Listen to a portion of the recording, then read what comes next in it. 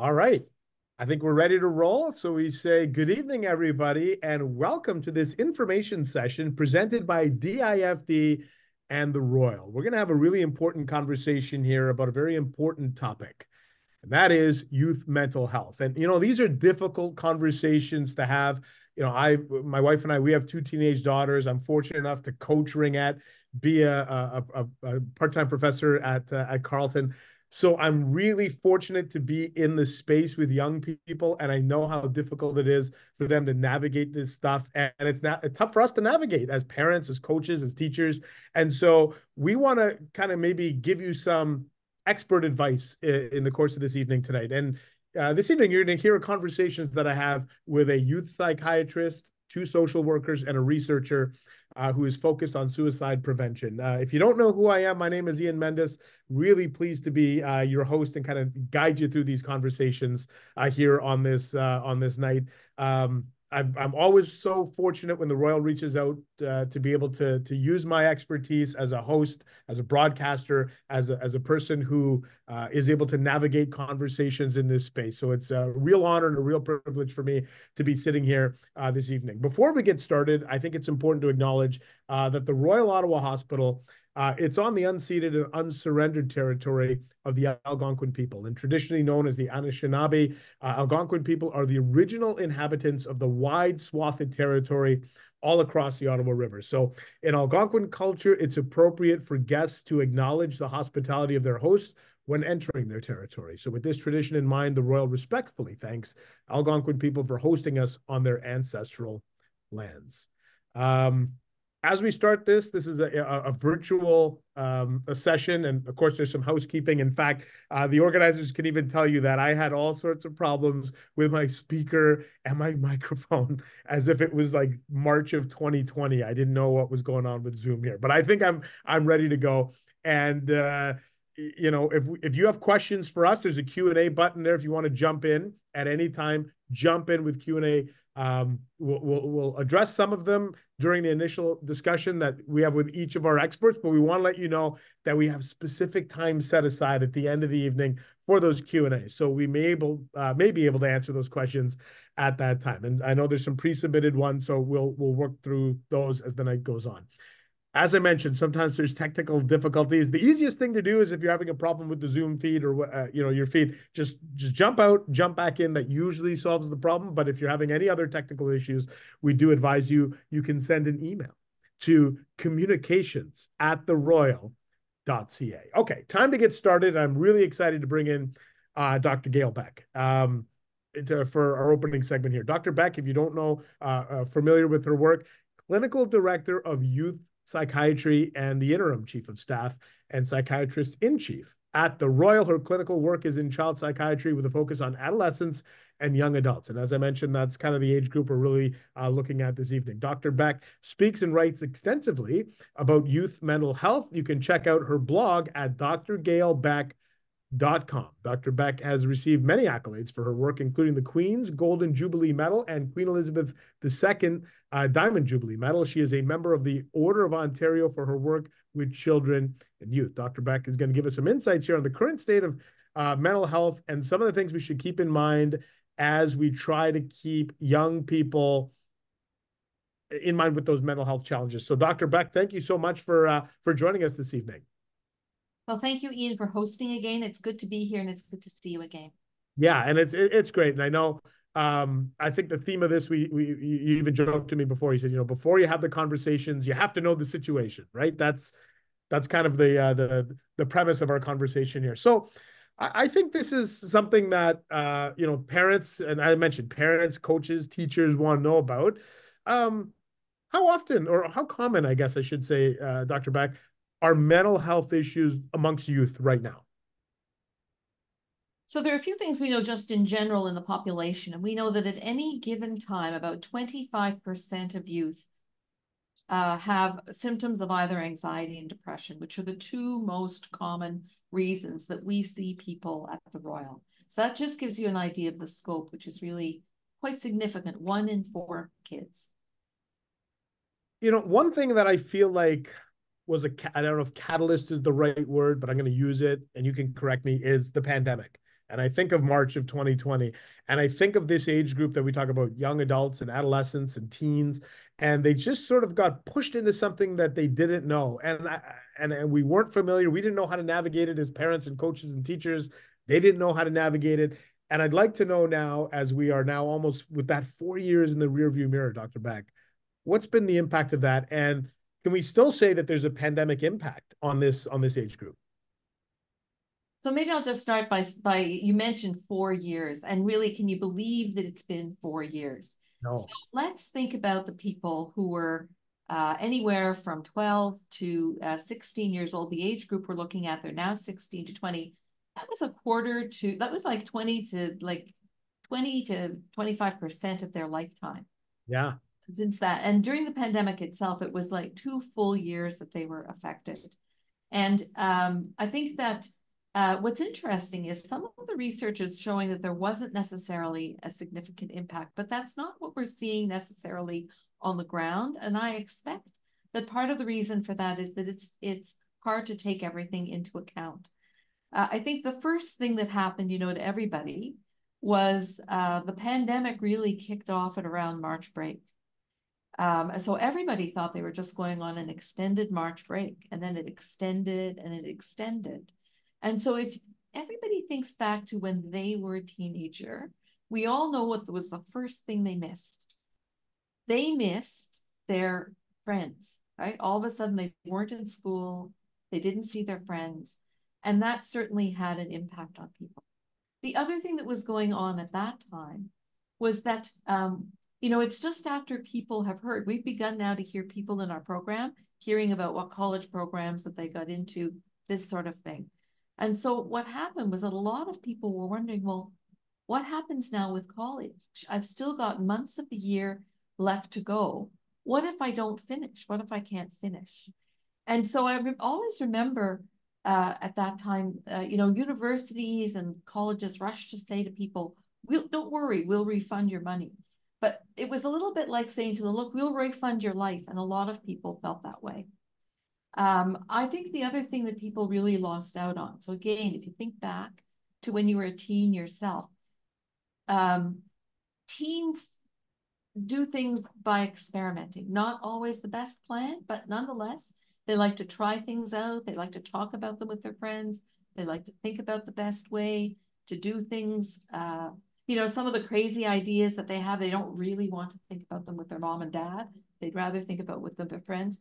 And they lost out on that natural period when they're a little bit wild, and that's a normal thing.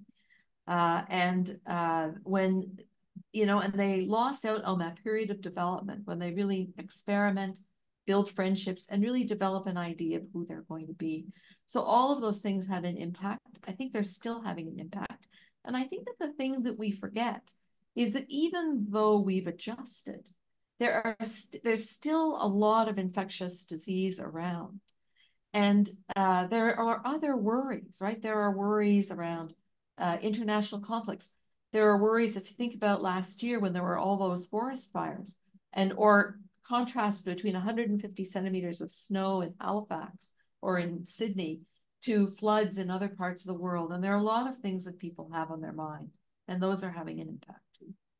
Yeah, I know it, it's a really good point because I, you talk to young people and, and those fears are real, right? Climate change, the economy, the job market, everything's different for them than it was for us, right? When we were in our uh, 20s and in our teens, the economy, the landscape, everything, everything was different. Everything was so different. And um, and and you know, actually, I, I want to ask you about this because when I'll go back to my high school days, and I'll be real upfront with you here, Dr. Beck. I think I didn't I dropped, I did biology 11, but I didn't do biology in grade 12. Okay. So I'm being upfront with you here. And the reason why I'm being upfront is because I do have a kind of a biology related question uh, for you, which is about this age group. And I know that this is something that there's actually some underlying physiological reasons why teenagers, and, and it is, it's very much like a high school biology class. But could you maybe explain to us why youth and people at that age are particularly vulnerable to mental health stuff at that at that juncture of, of, of their life? So in the developing brain in adolescence, and I think the other important thing is that we know that this brain development can continue through to a person's mid 20s. two things are happening. The first thing is that some is that uh, fatty tissue is wrapping itself around the nerves, a myelin sheath, and that develops in adolescence. And until that develops, it's uh, you know all of a person's reasoning and the connections between different parts of their brains are not as strong as they need to be. The other thing that develops through adolescence in the brain is the, what's called the area called the prefrontal cortex. And that's the part of your brain that's right behind here. And uh, again, connections in that part of your brain grow. And it is the development of the myelin sheath as well as the prefrontal cortex that assists in uh, problem solving, in executive functioning. So everybody is aware of, especially um, uh, adolescent males making some not good decisions necessarily. And a lot of that has to do with their executive functioning, just hasn't developed all of the problem solving skills that they'll have about 10 years later in some cases. Um, sometimes there's, Dr. Beck, there's stigmas around starting conversations right with your teen or your young adult about mental health that that that you know you're not sure how to start the conversation and parents don't know how to do it or adults who are in their lives don't know how to do it and i want to talk to you a little bit about that um, about you know being a parent and having kids and how do you start those conversations like how do you uh, are there some simple tips you can give our viewers today that are parents coaches teachers about supporting those kind of those young minds with mental health and um, and encouraging them to have those conversations in a, in a healthy way I think my colleagues from social work are going to follow, to follow me will maybe a little bit more elegant about it. But I what I always tell people is just say it. And I say just say it and uh, and uh, and make sure you have time to follow through because in the long run, uh, the way you have to think about it is let's take suicide. So if you're worried about suicide and your child thinking about suicide, just ask them in the best possible way you can. And just communicate to them your love and how you're worried about this and and say, you know, I'm not doing this to hurt you. I'm not doing this to be nosy. I'm doing this because I love you and I'm worried sick. And it doesn't matter how elegant you are. You just need to get the words out there, communicate your worry and how much you care. And what I say to parents is uh, just I say to them, just go ahead, because I think that the parents that I've seen who regret things the most are the ones who say, you know, I was thinking of asking and I didn't. So you'd much rather be in the position of asking those questions badly than not having asked them at all. And we know that I think the other thing that parents really underestimate is their influence. The, there is research that shows that the opinion that thou that that most adolescents value and that they pay attention to, even if they say they don't value it, is actually their parents' opinion. Uh, so I think that that's Im important to remember, and in that uh, you love them and they love you. Yeah, it, it's a really good way of putting it, right? Because that's the age group where we, as parents and teachers and coaches, that's where we kind of butt heads with them the most, right? And so to think that they really value our opinion, but they don't know how to express it, right? That's that's an important message to to pass along. Um, you know, you know, speaking of those that that kind of the teenagers, uh, Dr. Beck, I want to ask you about the incentives for maybe uh, getting an early teen to go get mental health services versus relying on just hey i'm gonna i'm gonna talk to my friends or my peers i think that um, uh, I think that it's important to, I mean, a lot of kids understand the idea of people who know things better than others. And I think the other thing we're doing in, in uh, is that we're more and more helping teachers and other professionals to know how to have conversations with children. And I think that that uh, what's important is to emphasize to children that your friend may not know what to do if you're in difficulty and that uh, you'll do anything you can to support them in this process. One of the blogs that I wrote was about how to support your child in therapy. And I think that some of the elements around that, including uh, being open to therapy yourself, uh, make sure, uh, you know, make sure that if you hear, you know, you will hear and your children will hear other people saying, oh, you don't need a therapist. You just need to talk to a friend I think that it's important to emphasize the skill of therapists and the expertise of therapists and make a distinction between someone with professional credentials and training and someone who's a friend. And not that friends don't care, but if there's a real problem or something difficult that somebody has to deal with, your friends aren't going to have the education to deal with it or and they won't necessarily know what to do and you wouldn't want to leave them in that position uh, a final question for you here dr beck and this is something that i have heard echoed by multiple uh, parents fellow parents who have said you know i would love to give my child an opportunity to see a therapist to see somebody a social worker anybody to talk to systems clogged uh, there's no room the system is overtaxed, it's overburdened. So, um, given the current landscape and the challenges, Dr. Beck, that are that are obviously there, um, how can parents get help for their kids right now? So I think uh, we do have a resource for children in Ottawa. It has lots of ideas beyond uh, beyond psychiatry, beyond the the various mental health programs, and that is the One Call, One Click uh, resource in the city. I, you know, in years gone by, I've said, make sure you get in touch with your family doctor. Because family doctors, we know, are doing probably a third of the mental health work in the system. But, you know, so many people in Ottawa in particular right now don't have a family physician that it's uh, important to have other resources. And the other resource I'd recommend is that the one call, one click system does provide information to people and you can speak to the people at one call one click or go online, and um, they can refer you to the right resource, including if it's necessary to uh, mental health services at CHEO or at the Royal.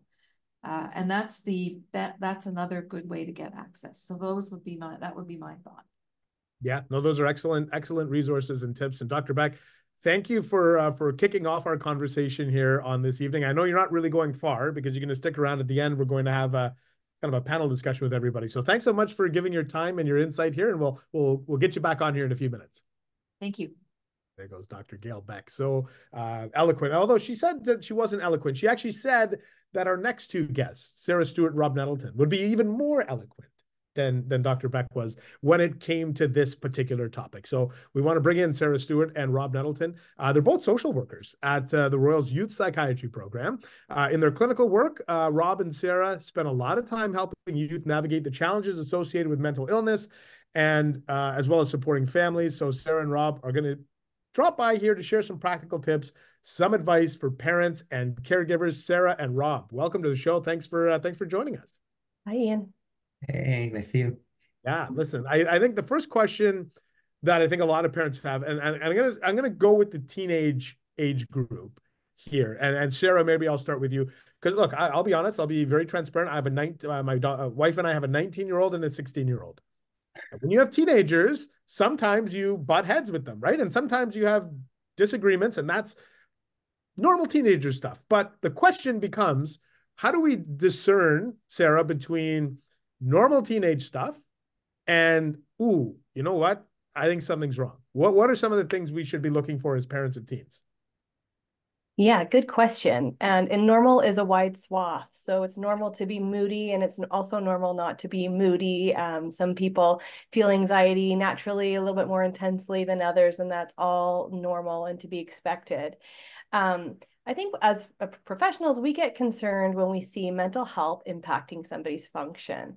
So if somebody's having a really hard time going to school consistently, you know, it's not just the one off or a bad week on the heels of, you know, some stress. Um, if somebody's having a really hard time socializing and they really want to be able to make friends and don't know how and are spending a lot of time at home um, on their own, that would be another time that we could consider reaching out.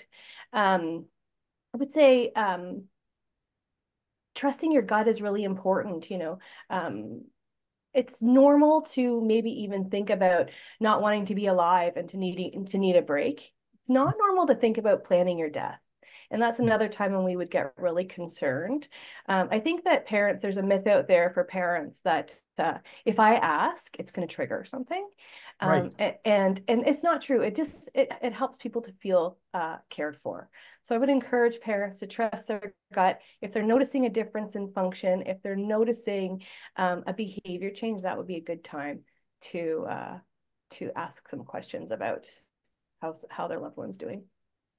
Yeah, and Rob, I think um, you know just to sort of piggyback off of that, I think it's important, right, to say, as Sarah mentioned, just because you pull your child aside at the dinner table or you know wherever you do it and have the conversation in the car doesn't mean now now you're planting a seed right or now you're you're you're you know i think that that part of it is important so how do you how would you give some advice rob how would you give advice for parents about having that serious conversation about mental health with their child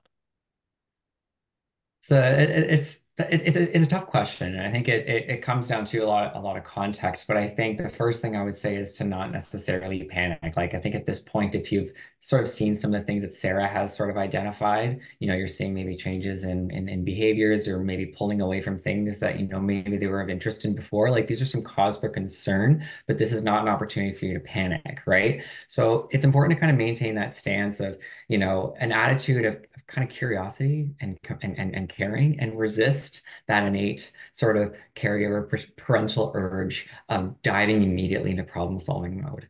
Um, because at that age, teenagers, 16, 17, 18 years, years old, um, they're dealing with a lot of problems and their problems become or can become very complex. They become complex emotional problems, complex social problems, many of which there's not a lot of solutions that could be sort of readily available, right? So resist that urge to jump into problem solving mode that this is something that I can handle, right? So I think adopting that attitude of like curiosity, caring, um, and starting that conversation gently with, um, you know, you know, uh, like, hey, how are you feeling today? Or it's okay to kind of name something. Like if you see that your son or daughter is um maybe they're they're a bit more lethargic lately. They're kind of downcast. Maybe they're saying some things that don't necessarily sound like them. They don't have the same energy as normal. It's okay to sort of say, hey, you know, over the past uh, past couple of hours, I've or past past couple days, I've noticed you seem a bit down. I, I wonder if you're sad, or I wonder if you're feeling really anxious about that test. Um, it's okay to sort of name those emotions and put that out there this also can help give your youth a vocabulary in which to describe their own experiences, um, if that's actually how they're feeling. But if you throw that out there, you kind of throw them a ball like, hey, I wonder if you're feeling sad or I wonder if you're feeling really anxious with everything going on at school. If you're wrong, chances are they're going to tell you that you're wrong, right? And so that's good. That gives you some information to go off of.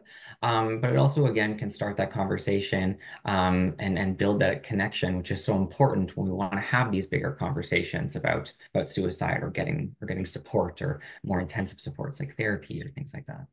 Um, is there a good time of day to have like just and again these are general questions right but is it better to you know some some people still have the ability to you know say goodnight to their child and not tuck them in when they're this age but you know what i mean you you say is it good to do it at that time breakfast table dinner table like driving somewhere like is there any ideal time or place for these conversations Oh wow. Um, hmm, that's a good. You know what? I think I think I think time and place, you know, matter a lot. I mean, I, I, guess it really depends on on sort of what it is that you're dealing with, right? Like maybe when the when, maybe when your son or daughter sort of slamming the door in your face is not now is not the time to sort of talk about problem solving again because again, like their their emotions are probably heightened, very activated. And at that point, when they're when they're thinking primarily with their emotions and acting with their emotions, they're not going to be there or in a place where they can hear and have these kind of logical, more rational conversations about about mental health. So I think when it comes to time and place, I think it's okay to kind of ask for when that time and place is uh, is best for them. And so what I mean by that is taking opportunities when things are actually going well for your son or daughter, um, and finding out um, from them like, hey, um, you know, when things aren't going so well, when is the best time for us to have this kind of conversation? Is it right when you come in the door? Do you need some space um, or, um, or, or whatever and kind of work that kind of plan out in advance? Um, this is particularly important if you have someone, if you if you if your youth has periods where they might have uh, mental health crises or different episodes of depression or low mood to sort of use those times when things are going really well um, to plan around that and how to have those conversations. If you try, you shoot your shot, you know, um, and it doesn't land, um, I think it's important that, um, you know, you let them know that you're there, right? And even if you're not able to tell them what you want to say or work on the problem or solutions that you're hoping to, to resolve, that you let them be aware of your presence, you know, that, hey, now may not be the right time to talk. I understand it's been a really difficult day for you. You know, there's a lot of stuff going on in school right now. I know exams just ended. There's a lot of stress. So how about this? How about I check in on you in 20 minutes? um, and then see if you're ready to talk then, um, and, and, and, and go from there, right? But the important thing is actually come back in 20 minutes and check. They still they still may not be ready to have the conversation then, um, but you're kind of following up on that commitment while also communicating your understanding and bridging that connection, which is so important for them at that age, is to feel understood.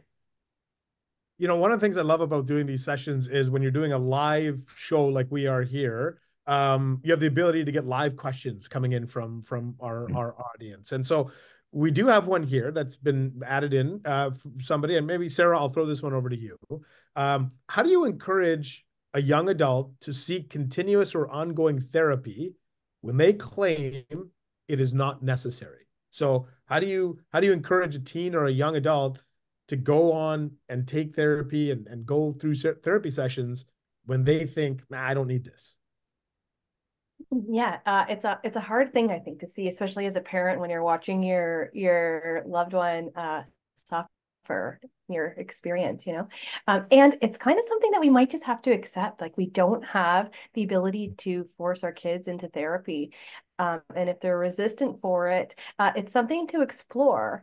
Um, so I would I would probably just be curious again, like as Rob was speaking um, before about sort of like that spirit of curiosity. It's like what went well when you were in therapy and what didn't go well? And you know what do you think the benefit might be versus uh, of engaging versus not? And that could potentially encourage some motivation. Um, and also modeling you know and this is speaking to sort of what Gail was talking about earlier about being willing to engage in therapy yourself and really um, you know set an example of what self-care looks like and, and hopefully we'll pull our loved ones along yeah, that you know that's a great uh, a great thing for parents, and we're going to talk about coaches and teachers in a second. But that modeling behavior, right? Like if, if you want to show what healthy behavior looks like, or get your child or young one, it's the best to, to try and set the example, right? And that includes things like how much time you're on your phone and what time you go to bed and you know what you're eating and, and if you're able to to be healthy and all those things and and you're right it's it's about trying to model healthy healthy behavior. Um, I'd like to know about, uh, and this is a, this is a tough conversation to have, and this is about substance use and drugs, and um, that's a really hard conversation that to have with your own child, with any child, with anybody. It doesn't even matter what the age. To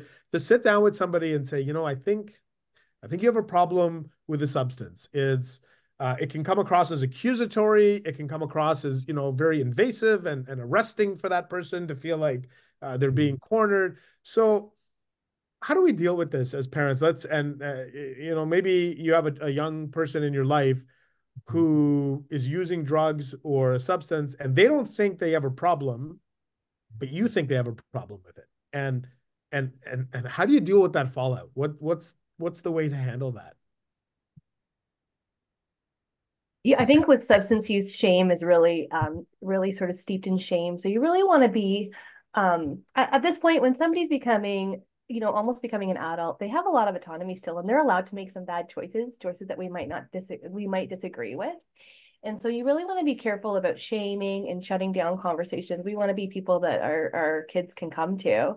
Um, and what I would be, you know, my instinct would be to notice and reflect like, oh, I see this is this is happening. Like you're having trouble getting up and you're getting in fights and you're feeling really short and you seem to be like fixated on going out. Like, do you think there's a do you think that there's any consequences? And and not being afraid to sort of like dig into it people will often dismiss consequences pretty quickly but to really sort of like take time to explore can develop a little bit of discrepancy for people when they're like oh yeah maybe actually it's not as helpful as i thought it might be Yes, Sarah's brought up a really good point. I kind of want to build upon it. This idea of like discrepancies, right? It's sort of highlighting how the behaviors that they're engaging in, substance use or whatever, are sort of coming into conflict with maybe what's important to them or the things that are important to them in their life. And that's not the things that are important to us, but the things that are important to your youth, right? So when that behavior might be coming into conflict with or getting in the way of them enjoying that sort of thing. The other thing that I always like to emphasize when it comes to substance use, especially when uh, especially if this is like your this is your your teen, this is your youth. That's really important to understand.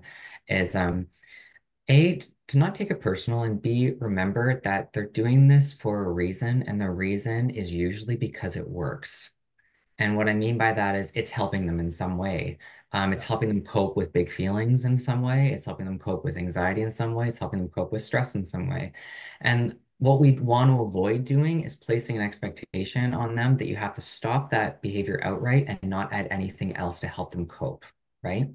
So that's the thing that we want to keep in mind around um, being gentle, being um, non-judgmental about substance use and not engaging into that shame that Sarah was speaking about is that they're not, they're doing this because it helps them solve a problem, right? And that could be a problem of fitting in or a problem with big feelings. So we can't take something away that's helping them feel good or feel better or fit in without offering something else or helping them learn something else so they can get the same result and, you know, or close to it.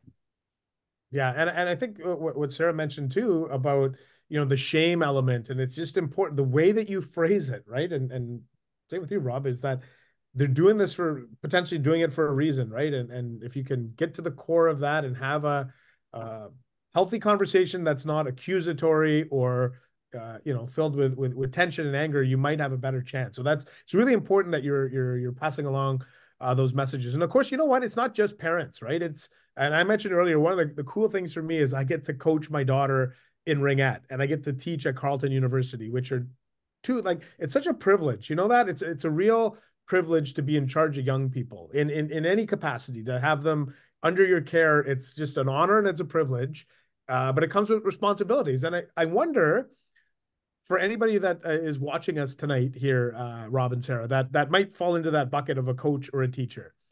Um, what kind of avenues do we have in that realm to maybe get to young people to open up a conversation with them? Because you know what, to be honest, sometimes I do feel like with with my students in particular at Carleton, I feel like I have a really good relationship with them because I'm not emotionally attached to them. You know what I mean? It's a professional mm-hmm. relationship.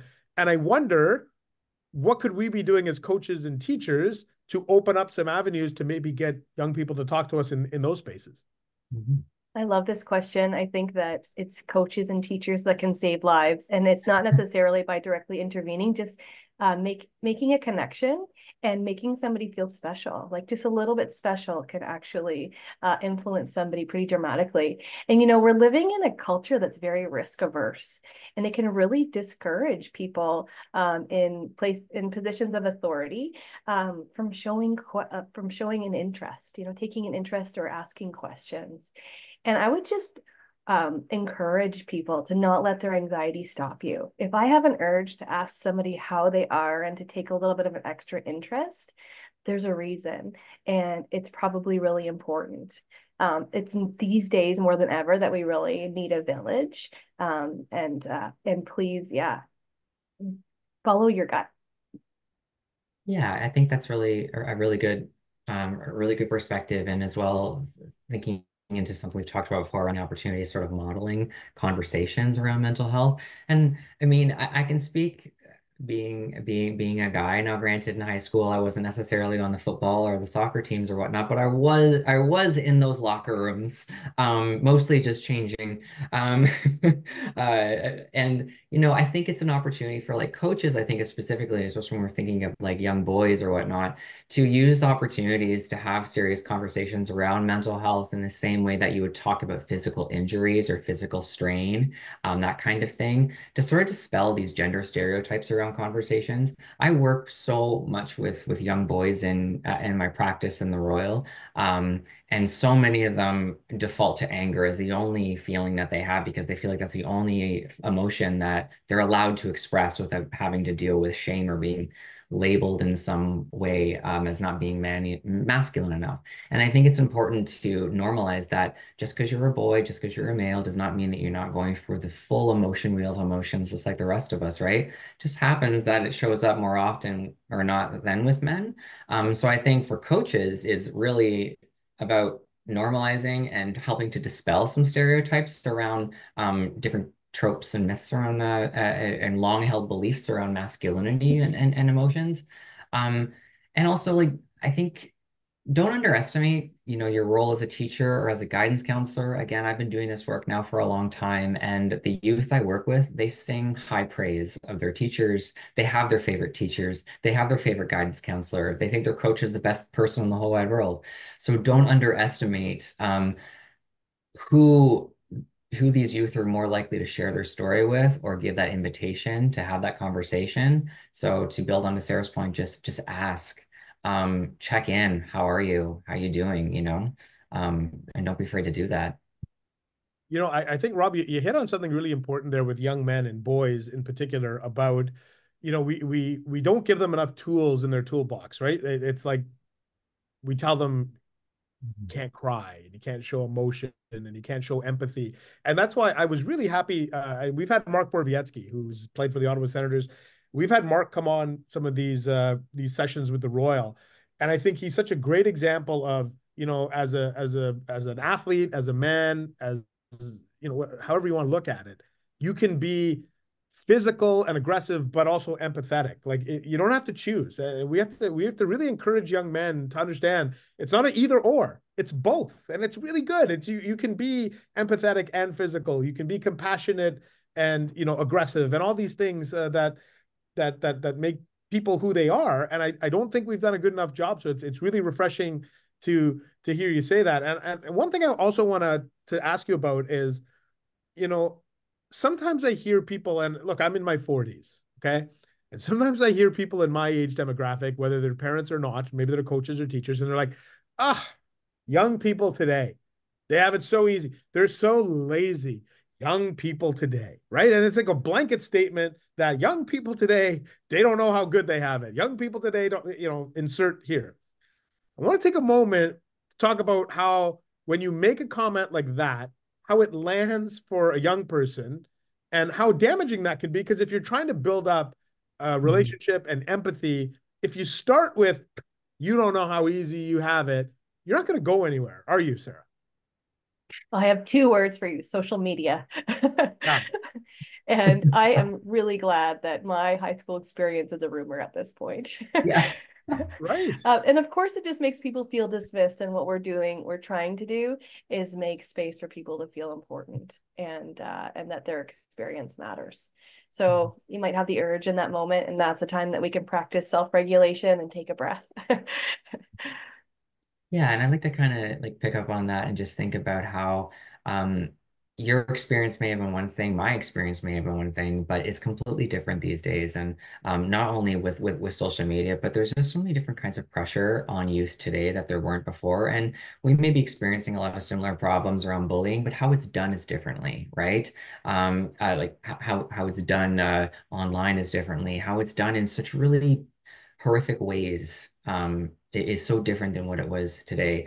And I think whether or not you agree um, with um, youth today having it easier than when you had it doesn't really matter because we don't need to agree to understand and respect someone's experience. We also don't need to agree in order to validate someone's feelings, right? So whether or not your time was harder or their time was harder, you can connect to that feeling of whatever that feeling was that you're connecting with. If it's that sadness, if it's that worry, if it's anxiety, if it's fear about the future, you can connect to that. And that's going to help you connect with your youth, even though your circumstances are different, right? Um, so I want to kind of emphasize that we don't need to agree. We don't need to have all the same. Um, we don't have, need to have like sort of that equal sense of uh, awful high school experience across the board, you know, and like uh, to to be able to connect on a feelings level. And I think that's where uh, sometimes I see with parents they get lost because they fall into wanting to use like logic to correct all the time, you know, um, and and and focusing too much on their own experience and forgetting um, what that real experience is right now for for their youth, right? You know, so focus Rob, you used, you used a really good word that I just want to pull out from there. Mm-hmm. and it's validate. Yeah. And validate. And that's really at the the crux of what both of you have tried to share Mhm. with our uh, audience tonight is the importance of validating youth, right? It's it's about validation, and validation isn't just Mhm. it's it's listening, isn't it? It's it's understanding, it's listening. But I if there's anything I want our, our as we wrap up this conversation, there's anything I want our our audience to take away, Mhm.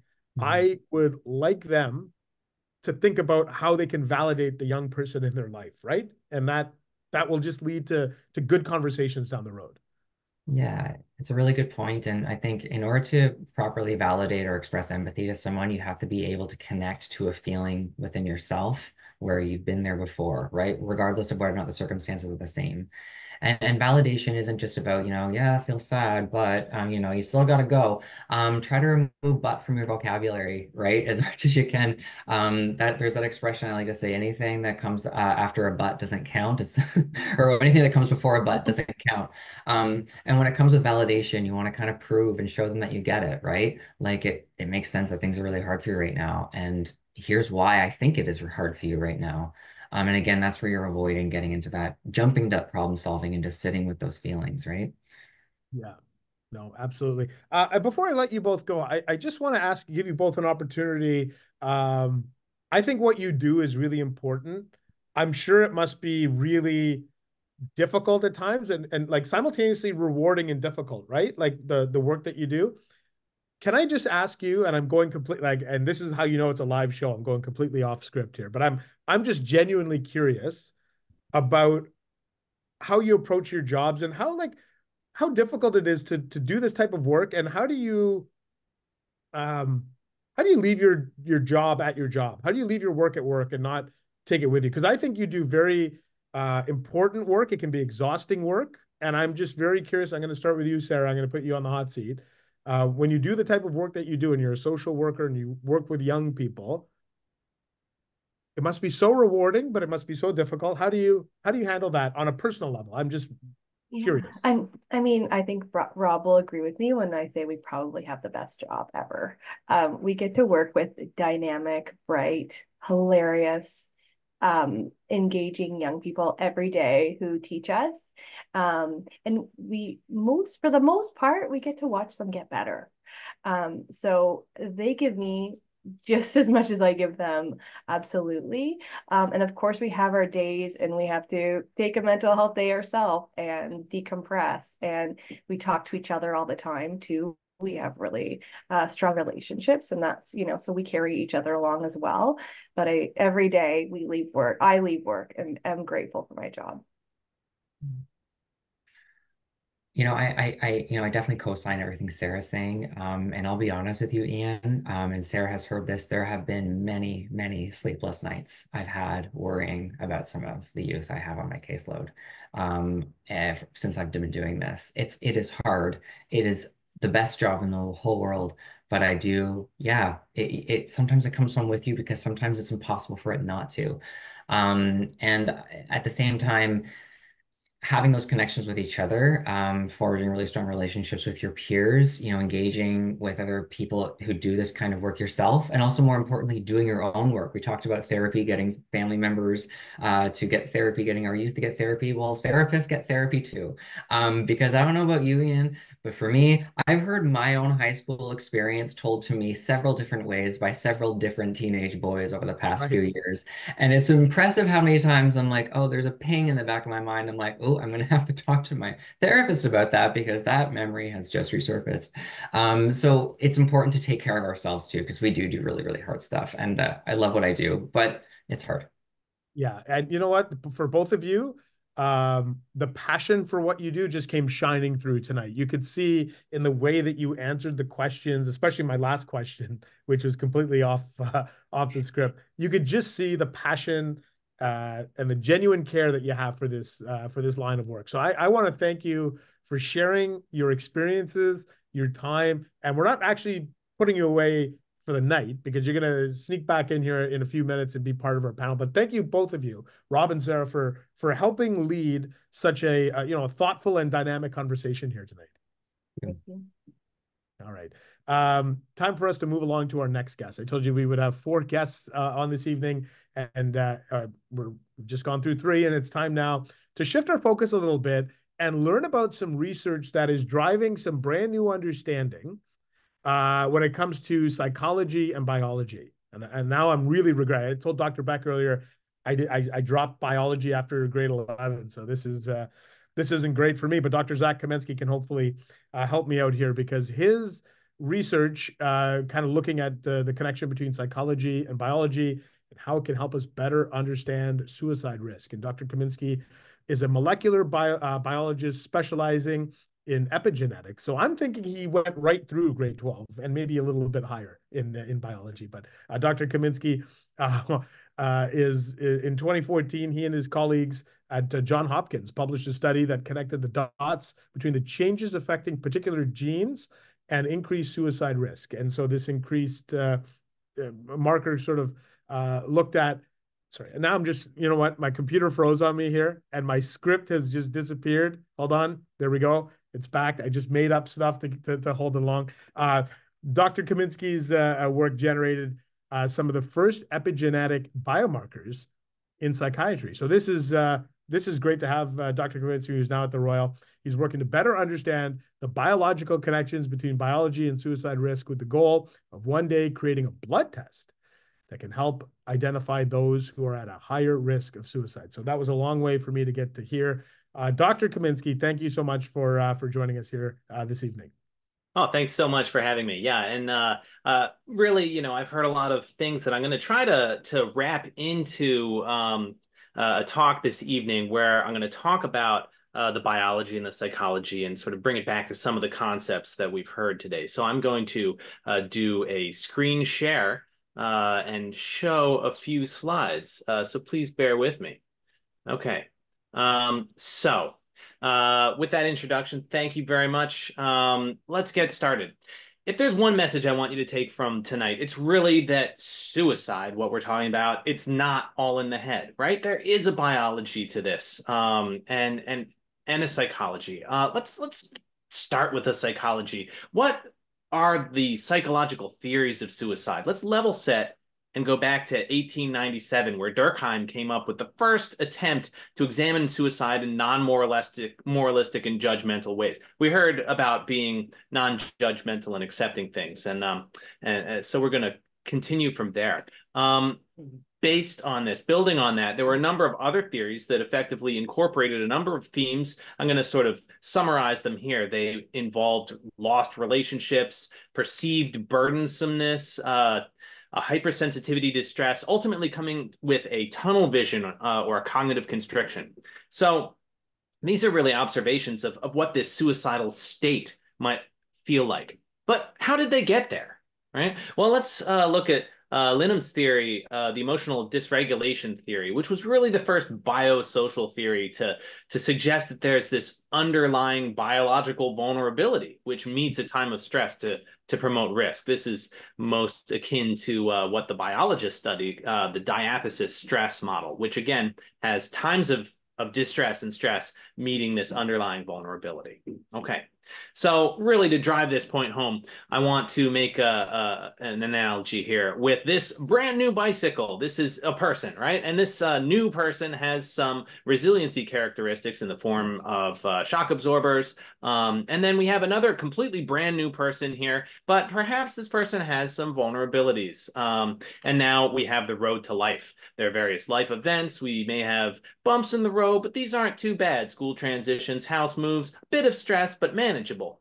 Then there are other lives with tougher transitions, uh, relationship endings, etc. And when we put these together, it's not difficult to see how both bikes may be able to handle all situations. Uh, uh, or uh, some of the situations, but when you have certain uh, resiliency characteristics missing and a difficult road, we could get the perfect storm, which leads to suicide risk.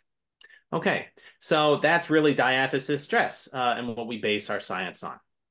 And so, what is this biology? What might this be? Well, we know that there are environmental risks to suicide, uh, such as losing a parent to suicide or having uh, early life abuse or trauma. This can lead a youth to grow up to have psychopathology of their own, including suicide, right? And what's important is that all of these factors can actually reprogram the DNA on the epigenetic level. Epigenetics really just means chemical modifications written on top of the DNA that act like light switches to turn genes on and off. And our laboratory was able to find an epigenetic change in a gene that seems important for our stress response. I've been talking about stress and, and uh, dysregulation. So um, what is our stress system called? It's called the HPA axis. Now this looks a little bit complicated, but I'm going to take you through it. Effectively, when our brains experience a stress in the amygdala, we effectively go through our stress response. We release glucocorticoids into the body, which give uh, our muscles power, uh, glucose metabolism is increased, and we can uh, fight off bears or even just go to that meeting at 9 a.m. or cross the street. We need stress. It's normal. And when that stress is over, the glucocorticoids bind molecularly to their stress hormone receptors and they actually shut off the stress response in the normal uh, situations. Now, we found an epigenetic change, which was replicated by a number of other studies, suggesting that what we found might actually be real. It was in this gene called SKA2, and it was predictive of uh, risk to suicidal thought as well as suicide attempts. And it was found in the, the brains of people who had died by suicide. Um, and so, what does this SKA2 do? Well, I'll give you a hint. It's related to the stress response. So, it's going to be a bad day. We've got School may be a tough day at work or even more intense situations. Uh, stress uh, system is going to be activated. Glucocorticoids flood the system. And then when the stress is over, they bind the GR, glucocorticoid receptor, and the gene SKA2 that we found helps bring this into the cell where it activates the negative feedback. This in turn gets rid of the stress response and everything is copacetic. However, with this epigenetic change, there's actually less SKA2. And so this means that there's actually less negative feedback. And this means that there's a failure to shut down the stress when a time of stress is experienced. We can't shut it off. And actually, this can actually change um, the brain connectivity patterns that we see. So uh, when we have the normal uh, biological resilience, a time of stress is blocked by the prefrontal cortex. This was the area that Dr. Beck was talking about but with less epigenetic uh, modification in these genes, we actually have less activity in these regions. When we have stress, we've got underactivity of the cortex involving uh, decision-making, impulse control, inhibition of negative thoughts, while the fear center of the brain, the amygdala, is overactive. And it's not difficult to imagine sort of intuitively how this uh, circuitry could lead to some of those uh, psychological theory uh, manifestations tunnel vision, lower control over our anger or impulses that uh, might lead to suicide. So, why are our genes doing this to us, right? Why is this system like this? And the answer is probably uh, to be found in evolutionary biology. So, uh, back in the day when, uh, as I understand history, cavemen were being chased by dinosaurs, um, we can't always. Uh, uh, if I've got it right, maybe I also missed 12th grade biology. Um, there are uh, uh, we can't watch our kids all the time, right? And so they're going to go off and go to the watering hole, and perhaps this non-anxious uh, child is, is says it's going to be fine, but the anxious child is going to think, oh, I better be careful, and they survive to pass on the genes because the genes don't care when they're evolving if we develop mental illness. They only care that you live long enough to pass on the genes. That's what you know evolutionist. and so in fact there may be uh, an evolutionary biology to suicide as well um, where it's suggested that if uh, if someone is sort of uh, left a family unit or a tribe and they consider themselves a burden um, this is involved in the psychological theories of suicide, but the genes may have evolved a way of understanding that they're threatening the same genes in the family, and so have evolved a method to sort of eliminate or take out that uh, sort of burdensome element so that the whole family doesn't um, uh, not thrive. So anyway, it's an interesting thought. But effectively, this is diathesis stress, where without the underlying vulnerability, you could be resilient in times of stress, but with it, you know, you can lead uh, to suicide risk. So now knowing what we know about the biology of suicide, can we understand the WHO's risk factors? And so you can see that there are some uh, stressful life events that we see, but there are also some that may be indicative of this underlying vulnerability. Okay, so what can we do? Well, we've heard about facilitating connection. Also, uh, CBT, cognitive behavioral therapy, can reverse some of the epigenetic marks involved in stress response uh, systems. And also, I want to share with you a bit of unpublished research uh, showing that connection is key.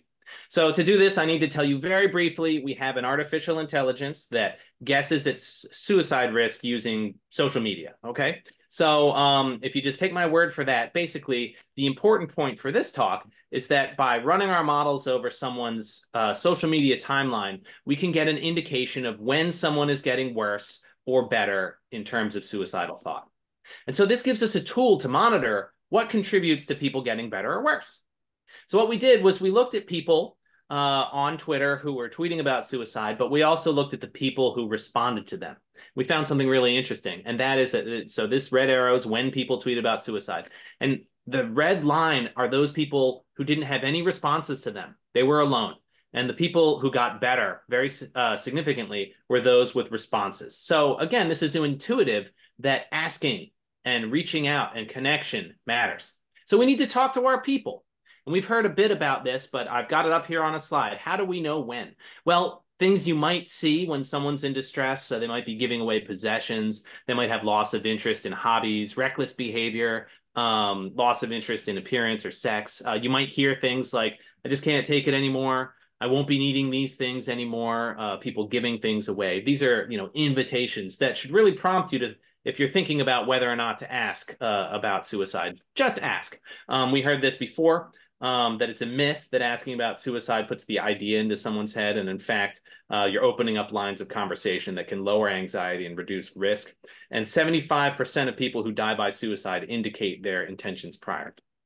So um, we also heard a little bit about how to connect uh, with resources. Dr. Beck mentioned one call, one click uh, for youth. There's also Access MHA for adults and services like uh, Counseling Connect. Um, and uh, just very, very briefly, I want to mention that uh, we have a, a, new research called the Youth Nominated Support Team Program uh, uh, that Suicide Prevention Ottawa, in partnership with the Royal, is putting forth, where youth discharged from inpatient stays with uh, suicidality. Actually uh, are uh, brought through a process to facilitate connections. So we heard uh, from Sarah that you know coaches and teachers save lives. Well, what these uh, uh, uh this intervention does is really get the youth to think about those uh, coaches, teachers, mentors in their lives, and really facilitates connection with them over a period of 12 weeks. And the intervention is is looking very promising. So uh, to end, really what I wanted to say is that the factors contributing to suicidality stem from a combined influence of biology and the things that happen to us. The psychological theories of suicide can drive in part uh, be driven by influences and they can inform our interventions. Um, engaging with people in our lives and asking about suicide can reduce risk. And there are ways to get connected for yourself and others uh, to seek help for mental health concerns. So thank you all for your attention on my talk. Amazing. Uh, Dr. Kaminsky, thanks so much. You know, I, I just want to ask you one other quick question here before we uh, we're going to bring all the panelists back in, uh, and that is as I brought you in, uh, I I know that you said that you, you know, looking at the connections between biology, suicide risk, and one day the ultimate goal of maybe creating a blood something as simple as a blood test that could identify who's at a higher risk of, of suicide. I'm just I'm so fascinated by that uh, because it feels like wow that would be such an easy um, way to maybe identify and get some preventative steps. So I mean, how far away? That seems like such a far fetched idea, but how far away would we be from from something like that? Yeah, I mean, so um, it, it's a great question. Um, you know, what some of the challenges when it comes to uh, predicting suicide risk is that um, you know, so there are always going to be false positives. And with something like suicide, you know, uh, just guessing who might be at risk, you know, can be useful to a degree. But I think, you know, um, it would be really important to guess uh, who might be at risk really early on so that we can act at a time when uh, before someone's in a period of distress. Um, we are actually working on a different blood test that predicts risk to, to postpartum depression.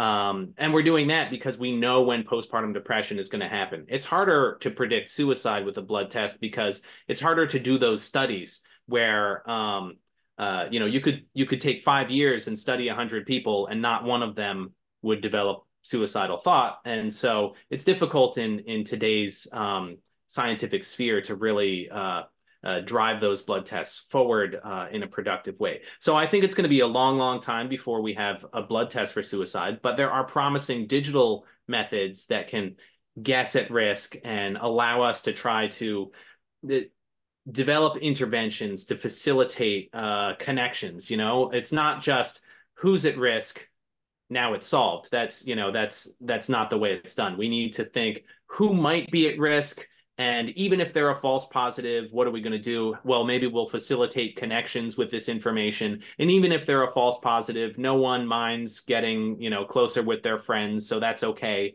right? So, ways to sort of integrate all this knowledge about connection, all of this knowledge about what promotes suicide risk and what's protective and really combine that into like a system with um, uh, with these tools. And maybe there's room for a blood test uh, in there as well. But uh, you know, I sort of alluded to some of the factors that make it challenging. Um, it's really exciting. It, it, continues to replicate, but when it comes to um, you know, can we use this in the clinic uh, for doctors? I think we're you know uh, a long way off.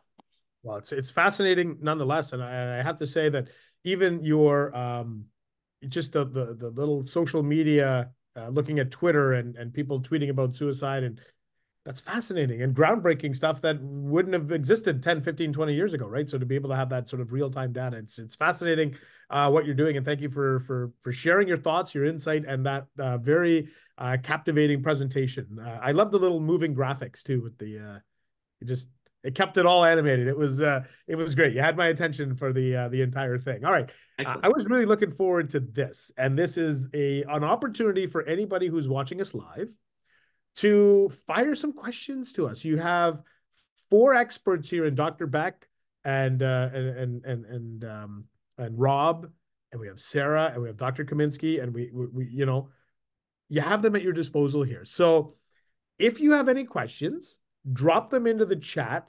Um, I do want to stress though, uh, you know, with with these questions, we can't go into um, specific diagnosis for like a, an, an, exact individual problem that you're facing. Um, this is more meant to be sort of broad strokes information for you, but um, by all means, ask away. We are happy to facilitate any questions here that you might have. In fact, we're going to start one. We we had some pre-submitted ones that were we've got from from people who have attended, uh, but We've got the live chat open, so drop your questions in. And maybe this is a good one for Dr. Beck, because I know that uh, Dr. Beck, you have specifically uh, written about how youth can handle when there's big world events. And we've talked about how, you know, the landscape now with climate change and, you know, the economy and all these things can be overwhelming. We have a question here from a, uh, a viewer, Dr. Beck, who says, how do I address negative thoughts about society and the environment um, from my 23 year old son?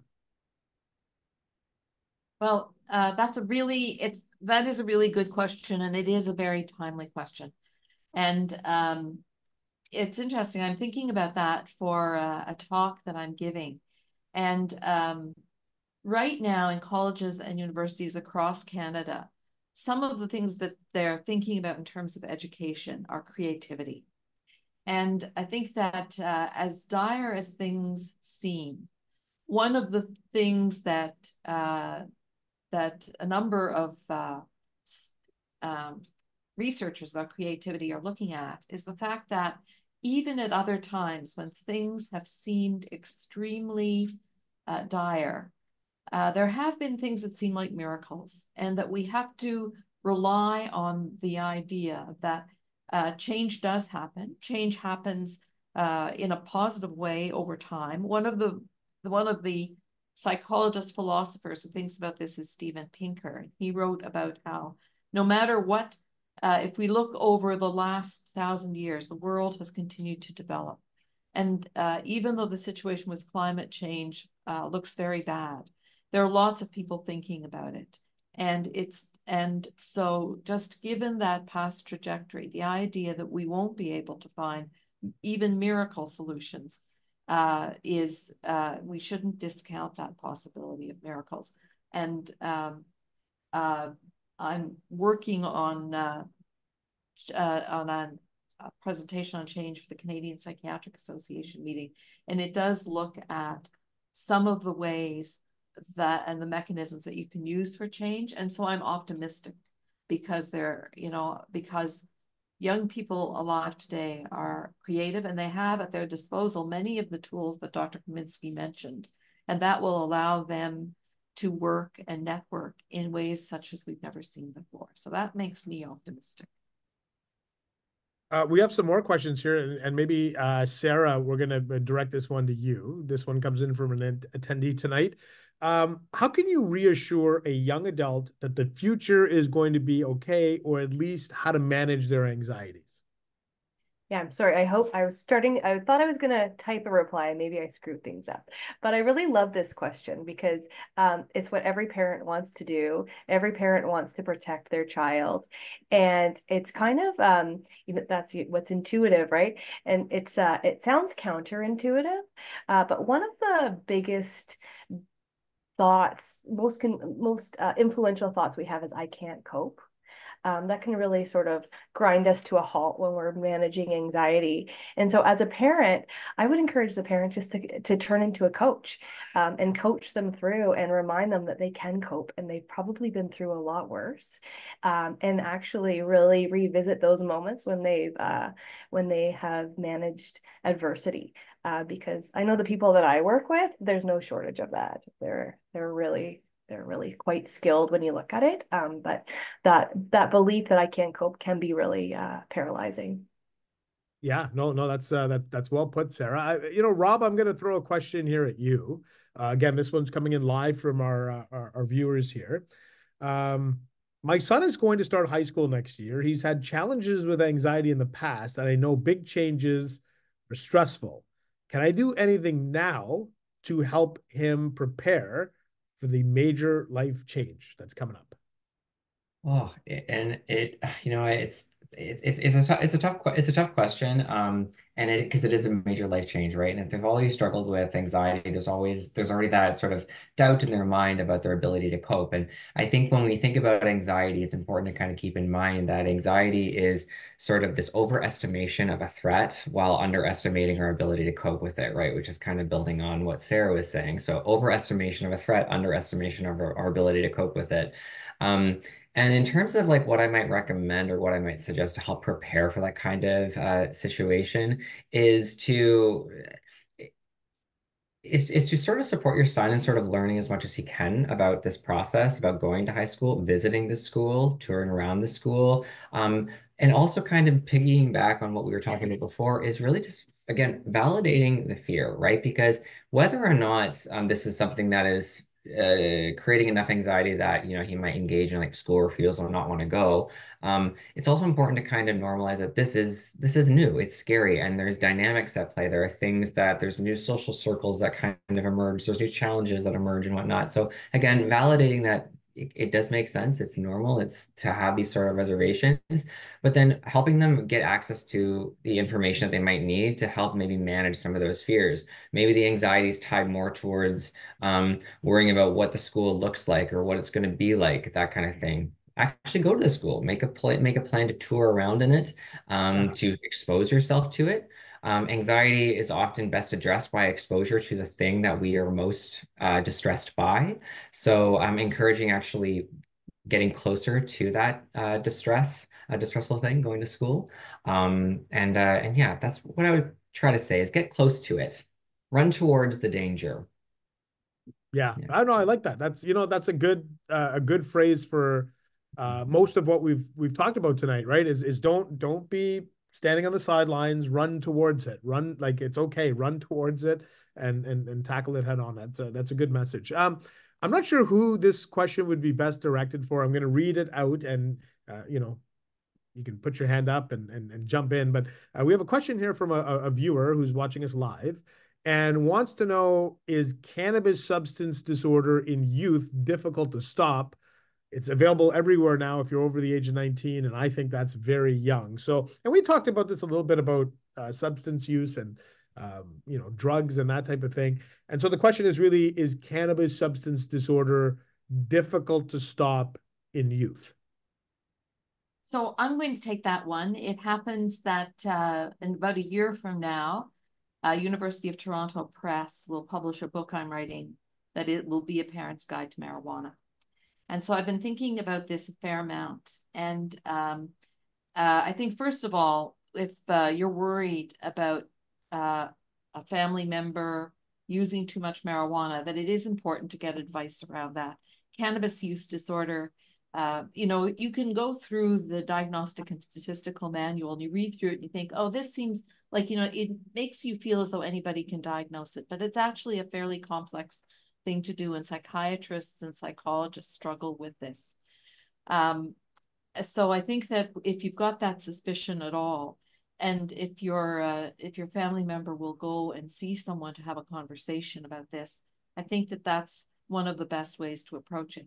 I think a problem that we have is that um, we're we're just getting used to this idea of legal marijuana in Canada, right? Like it's it's new for us. 2017, yeah. marijuana was first uh, introduced, and so there is a there's a divide, and there's a divide from uh, people who are using it. So in the 19, you know, in uh, the 1980s, early 1980s, uh, people were uh, in Canada and the United States were were getting used to the idea of legalizing marijuana.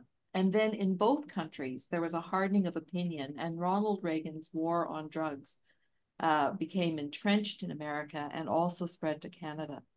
So, for a number of us who grew up in that era, we would never have dreamed of using marijuana because the penalties are really quite uh, unrealistic for the possession of drugs, uh, etc. I think the other thing that's important in just in terms of statistics is that this person listening live says that there's so much access to marijuana. They're thinking about legal marijuana. But one of the things that's very interesting is that of all the marijuana consumed in Canada, 79% of it is obtained through the black market, through the illegal market. And the reason is that it's just been much more successful at marketing marijuana. And so it's it's important to uh, to remind young people of the very uh, unrealistic and stiff penalties that there are because somebody 19 can purchase marijuana legally, but Canadian youth, youth uh, under age, under the legal age for using marijuana, are actually the largest consumers of youth when you compare that that, that cohort to youth in 29 other comparable countries. So Canadian youth seem to use more marijuana. And some of the reasons for this are felt to be around that ambivalence, as well as um, that uh, the the unusual impact of the war on drugs. So it is difficult, I think, to stop that. The other thing I think that's really curious is that here we are in this period when marijuana has just been legalized. And I'm sure uh, people listening will have heard about how we're now learning of even further dangers about alcohol to the point where they're advocating abstinence from alcohol. And I think that uh, when I was doing the research for the book, and uh, perhaps Dr. Kaminsky has heard about this, you know, there actually uh, are researchers in the United States who have found uh, links uh, between the use of certain substances and the the uh, and the capacity for um, the use of one substance leading to the use of another. So I, mean, I think that there's so much research still to be done, and it and we're behind in research on marijuana because during the period of the war on drugs, even for medicinal marijuana and medicinal uh, uh, cannabis, which was uh, looking more at the cannabinoids over looking more at the medicinal compound rather than the psychoactive compound. even research with those substances was prohibited and it was impossible for people to get access to marijuana to do research. So I'm optimistic that we will enter a period of research. So it while it's you know while it can be difficult to manage any kind of substance use disorder, there is assistance. We have very good programming at the Royal, rapid access program uh, not just for uh, marijuana, but it, I know uh, from personal experience and the experience of the Youth Mic program that you can you can be in touch with that program and speak with someone right away about any kind of substance use disorder. And anybody who is wondering about a substance use disorder, uh, there are always agencies to help and find out in those moments when people may really contemplate uh, changing their drug use habits. It's, well said, Dr. Beck, and, and look forward to that. That book sounds like a very interesting project that's coming out uh, coming out next year. Another question here from the live chat, and I think Dr. Kaminsky, you're okay to answer this one. I'm going to send it over to you. This comes in from a, a, a viewer tonight who says, "My nephew is 13 years old, has ODD and ADHD. His sister, who's my niece, is eight years old, is autistic. Uh, my nephew has mentioned that he has thought about suicide. I have brought him to a mental health clinic, which he is no longer going to. What else can I do to help him? Yeah, so um, I'll, I'll start with this, and if uh, anyone wants to add on to what I, uh, I have to add, uh, by all means, please do so. You know, I think it's important to keep in mind that um, uh, you know not all levels of suicide are you know uh, at a super high risk. So just thinking of suicide, having passive thoughts of suicide is not necessarily as dangerous as um, if they also have a plan or have intention uh, for that plan as or means to act on that plan, right? So um, it can also um, be the case that suicide comes and goes, right? So suicidal thought comes and goes, right? So someone can uh, think about suicide at one point, and then it can um, it can get better, and it sort of relates a bit to that diathesis stress that I was talking about. You know, during periods of stress or distress, people may be feeling more suicidal um, or not. So one of the things we can do in the moment is really to safety plan. It's to think about, well, when that suicidal thought is high,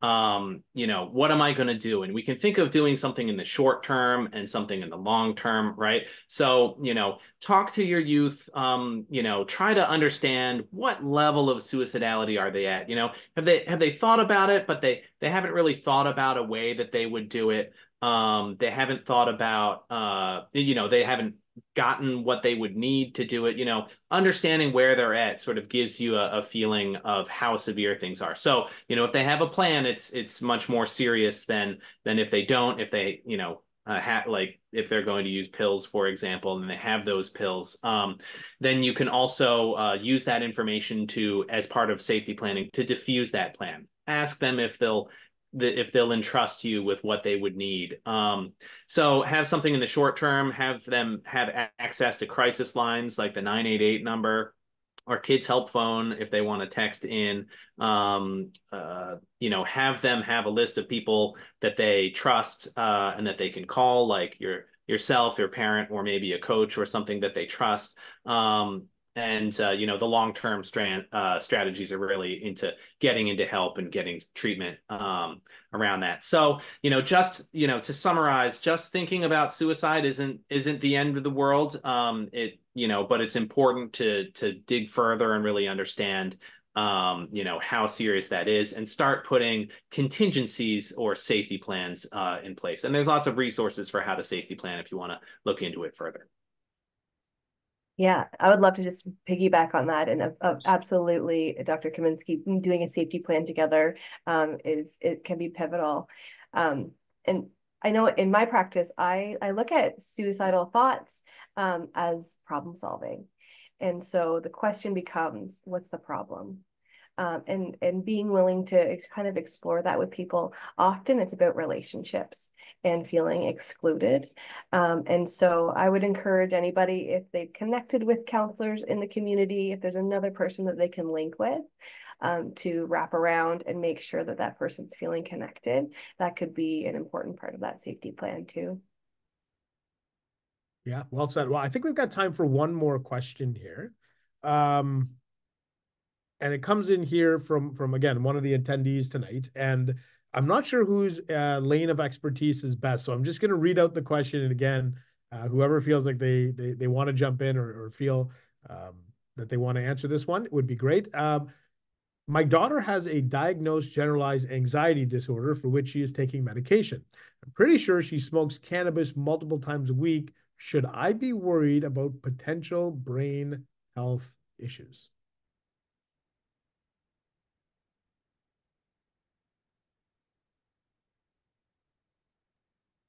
Anybody? Uh... Maybe I'll start because there's a medication question. Yeah. Um, and I'll just start and say the main worry that we have with somebody who is uh, on a medication for a mental health condition and using cannabis is that sometimes the cannabis can interfere with the effectiveness of the medication. So that's something to think about. The other thing to think about is that um, uh, it's uh, and I think that the that all of these clinicians, Sydney as well, is that it's difficult to gauge from reports how much cannabis somebody is using. I think that that's another element. And I think that um, people will find that in uh, small amounts, and I hear this from a lot of patients, and in small amounts, they feel that cannabis helps with their anxiety. But in fact, that may not be the case. And so uh, sitting down, there are lots of resources online about cannabis and, and reviewing with that, uh, reviewing with your child what some of the effects can be to, to make sure that uh, uh, to make sure that they understand the possible risks of cannabis would be an important thing. I think the other thing is that um, for any drug that you might use, the impact of that drug uh, on the on the brain, and in this case, in cannabis's case, because it can affect the developing brain, is that it's not like a there's not necessarily a dose correlation in the sense that no doubt about it, using more uh, will probably have a greater impact than using less but that from one person to the next, the amount that can have an impact may vary. And so we really, you know, those of us uh, who were concerned about the legalization of cannabis really had hoped that there would be a better public health campaign around the time it was legalized. We also hoped that there would be uh, in that public health campaign a lot more explanation of the impact that cannabis can have on the developing brain. Um, again, uh, a, a, family physician, and on occasion, if you are really concerned, because you can see for a number of reasons a deterioration in a person's learning capacity because of lack of motivation uh, and uh, other reasons. A, a, clinical psychologist can assist with uh, not just psychoeducational diagnoses, but diagnosing uh, a cannabis use disorder in general, and uh, your family physician or uh, a child psychiatrist or general psychiatrist also assist. And it's important to try and use those resources. Yeah, and and Rob, I, I think you've you've passed along uh, some info here. Yeah, so the only thing I was going to add on to this is I think, you know, a lot of what Gail says, for sure, Dr. Beck has said is, you know, I, I definitely agree with, and I, I I'm going to sort of bring this to um, kind of a recent example in, in, in practice when I think I think there's there's a person who uses cannabis, but they may not necessarily understand what it is that they're using anyway, because there's so many different types of strains, THC, CBD, heightened potency in certain areas. And some youth that I work with, they know they smoke cannabis, but they don't know what it contains and what the heavy strain is, right? And so we even think about you know, cannabis is a tool to help relax. What they're often referring to is the CBD um, aspects of cannabis, not the THC, which is like the psychedelic or psychotropic aspects of it, which is going to increase like paranoia, actually strengthen anxiety, um, and make you have more of that high feeling. So I've included in the chat, um, uh, it was published by CAMH, the Center of Addiction and Mental Health, on low risk uh, cannabis consumption guidelines, so that um, anybody who's interested can can look into what is considered safe consumption of cannabis, and it actually does a really good job of defining um, those uh, those different the differences between like THC, CBD. It's also dosages because one of the things I've learned in youth psychiatry is that it's not just about a joint or a bong anymore. Now they're doing things in edible formats and dab pens and this, that, and the other thing. And they're like, oh, I just have a couple cartridges of this. I'm like, how much is that in a in a joint? And they have no idea. I have no idea. So I defer to this. Yeah, no, thanks for uh, thanks for for sharing that because these are important resources, as Dr. Beck said even earlier. Like these are changing times, things that didn't exist in terms of legalization 15, 20 years ago, and that we're we're navigating it uh, at navigating it now. So uh, listen, I think we're all, all out of time here. This this 90 minutes, quite frankly, flew by. It felt like 20 minutes for me uh, sitting in this host chair. So I want to thank everybody for watching uh, along here, and and certainly a huge thanks to Dr. Gail Beck, to Rob, uh, to Sarah, uh, to to Zach, to Dr. Kaminsky for for joining us here because I think. Um, this was fantastic. And and for anybody who missed part of it, or maybe you want to share this with friends, good news: the team of the Royal has recorded this. They're going to post it on uh, the Royals website. They're going to pump it out on social media, and uh, they can send along the link in case you want to. As I mentioned, maybe you missed some of it. Maybe you want to share it uh, with some people in your life. And what we're really hoping is that you know you walk away today feeling better equipped to support people. I think of what Rob said of you know run towards the danger that's really one of the great messages that I think came out of this today. Just just feel empowered. Don't be afraid to have those conversations with the youth in your life. Run towards the danger, and, and, and you're going to like where you come. It might be uncomfortable at first, but you're going to like the outcome in the long run. And um, we, we, we also want you to know that you know, like I said, Rob and Sarah was so great in that uh, in that middle segment, and they actually have an article that is up on on the Royals website entitled how parents and caregivers can support the teens and young adults in their lives. So for kind of a summation of the tips that that Rob and Sarah passed along, check out the Royal website, check out that article, how parents and caregivers can support teens and young adults in their lives. Before we let you go, I know it's February, but we're looking ahead to March. And we want to tell you about something that uh, the Royal does every March, uh, every March, which is hosting the Mental Hygiene Challenge. And this is a pretty cool initiative. Uh, it's basically encouraging people in our community to spend 10 minutes a day taking care of our mental health by practicing one of 16 approved exercises by experts. So you got a wide range of things. You don't have to just pick one. There's 16. You can, there's lots of variety for you to pick one of these things and spend 10 minutes a day doing it. And it's super customizable. It's super simple. And you know what? As we talk about how do you start conversations within the youth in your life, prioritizing mental health, building healthy habits? This is a great way to do it. You might you have a teenager and they might ask you, "What are you doing now every 10 minutes every day?" You can say to them, "I'm doing the Royals Mental Hygiene Challenge." And so um, you know, people think it's pretty obvious, right? They tell us about our teeth and dental hygiene, right? And we know that we have to sh uh, shower and brush our teeth and do all those things. I think it's time we start applying those same concepts to our, our mental health and mental health hygiene. So, good mental hygiene uh, helps us build the resilience that we've talked about to face some of those challenges that are in the future. And it's certainly valuable for our youth who are navigating so many of those things that we never had to deal with, but it's on their doorstep. So uh, we want to invite you to take part in the challenge. It runs the entire month of March, the 1st to the 31st, but you can learn more. Sign up now through the link that we've just popped into the live chat. So hopefully you'll consider participating in that and uh, and maybe turning it into a family activity in the month of March. Again, thank you everybody for for tuning in here and thank you everybody for organizing this and we'll see you next time.